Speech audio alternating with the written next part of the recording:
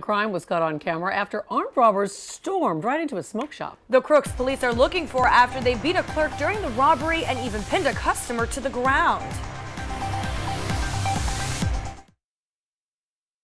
A violent robbery is caught on camera after armed robbers storm inside a smoke shop and attack the clerk behind the counter. Local 10 News reporter Larry Livingston has the latest on the search for those crooks.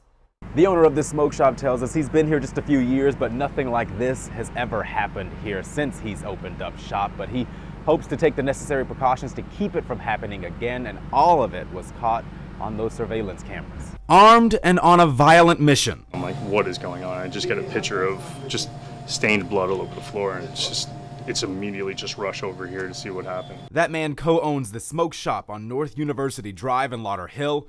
He was not in the store back on June 19th, but his business partner was, along with two customers, when two men in hoodies stormed in with guns and attacked. He got six staples, I believe, in his head on two different sides. Um, they assaulted him pretty badly. One of the crooks stands over a female customer during the entire robbery.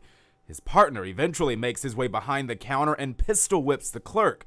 Police say they got away with hundreds of dollars, along with the shop owner's peace of mind. Getting taken advantage of, that's always the worst part, the worst feeling.